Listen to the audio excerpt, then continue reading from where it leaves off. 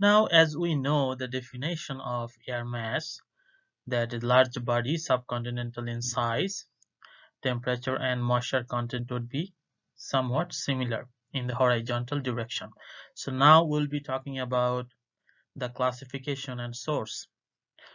So classification and source, it would be easy to understand that the air mass can be defined in two letter code.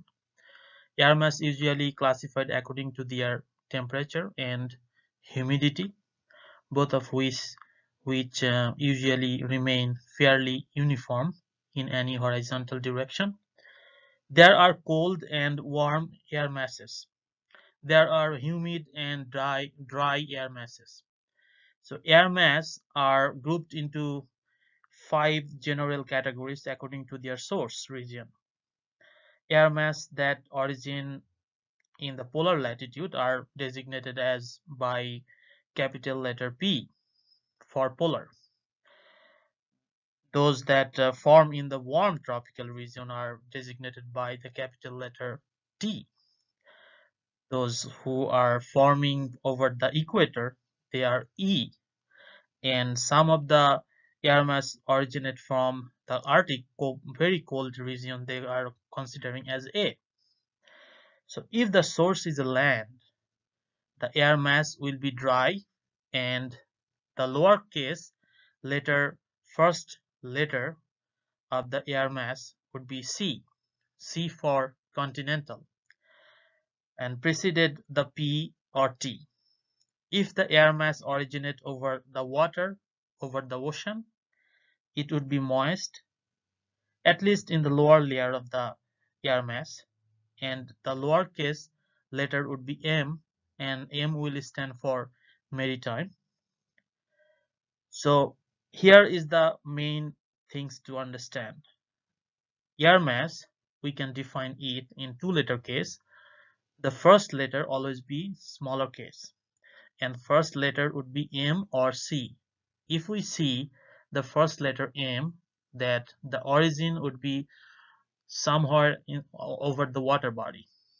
If we see the letter is C lowercase the origination would be somewhere over the land or over the dry region and this is first letter is telling us actually the moisture content and the second letter which would be capital letter it is actually telling us about the temperature situation according to the position. If there is equatorial we know the equatorial region we have incoming solar radiation and hot temperature. And T tropical also hot. And if we go pole and arctic it would be cold.